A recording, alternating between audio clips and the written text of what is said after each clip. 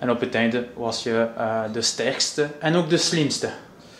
Ja, dat klopt. Uh, vorig jaar had ik ook uh, de Europese titel gepakt in de afvalling. Dus het was vooral moeilijk omdat ja, alle renners aan de start wisten natuurlijk dat ik de titelverdediger was. En op het einde schoten we nog met twee renners over. En ik dacht gewoon dat ik dezelfde tactiek van het jaar ervoor moest toepassen. En dat was de laatste renner in koers een beetje vastzetten aan de balustrade. En ehm, dat lukte vrijwel perfect. En in de laatste bocht kon ik perfect naar beneden duiken. En met de snelheid die ik had ja, heeft, de, heeft de andere renner het vrij voor opgegeven en ik denk wel dat ik de sterkste renner in koers was.